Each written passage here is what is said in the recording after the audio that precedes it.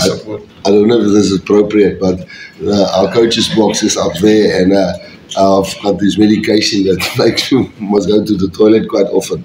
And as I ran into the coach's box, I thought, no, I'm not going to make this first half. I don't go to the toilet now. But the coach's box is right between the public the, the toilet there, and it's a man's and a woman's toilet. And there was a lady that stood there, and the man's queue was long. And the lady said, "No, I can go in." And there was a lady in the bathroom, and she, but was all dressed, everything fine. and I said, listen, I must go to the coach's book. I must. And she no, she'll turn around. And, then I got stage fright.